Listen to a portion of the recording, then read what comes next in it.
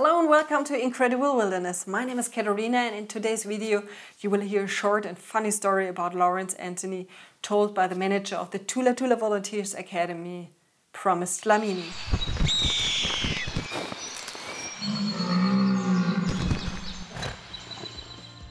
He used to tell the story of his friend who also had the game reserve somewhere in Limpopo province his friend was busy. Back in the days, there were no computers that much. Everything, everything was documented on paper and pen. He was busy doing paperwork in the office, and the rangers came to him and said, boss, we've got a problem. Elephants have broken the water pipe. There's no water supply to the lodge. We tried to go and fix the problem, but we found a pride of lions just sitting there. So we don't know what to do. And the guests are starting to complain. He told the rangers to go and, go and say to lions, voetsek, which is normally said to dogs. So the rangers went off there all they did was to rev the engine, shout and scream, and yelled at the lounge, threw sticks. Lounge just looked at them. They went back to the boss. Boss, we've tried everything. They don't move.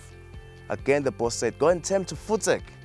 Off they went. When they got there, they did the same drill like three, four times. When they went to the boss, like for the fourth time, he was so annoyed. He said, come with me. Got into a vehicle, told him to stop the vehicle. He walked to where the lounge were, like half meter, I mean half distance between the car and the lounge. And he said, voetsek! And lions ran. but every story he told you, there's a moral. The moral of the story is to take the instructions as they are. No matter how lame they sound, just do them. If they had said voetsek for the first time, maybe the lions would have ran.